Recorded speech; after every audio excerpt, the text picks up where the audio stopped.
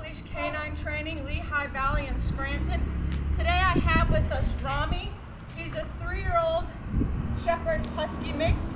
His owners have dropped him off for the one-week board and train program. He uh, is a handful, as they say. He does not listen very well. He needs to work on his basic obedience and stability.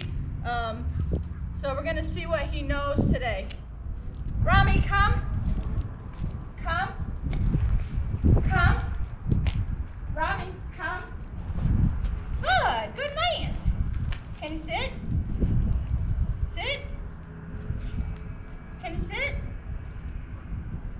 Sit. How about place? Can you place? Place? Can you place? Okay. As you see, he's uh not willing to do uh, anything for me. He did come, sort of, when I called him.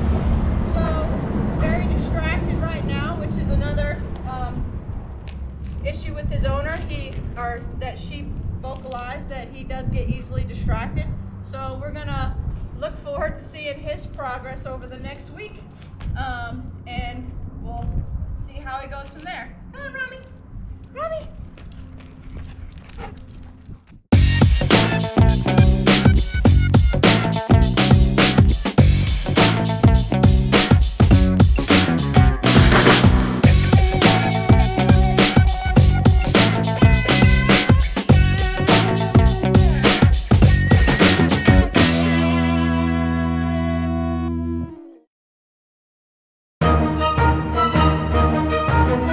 Thank you.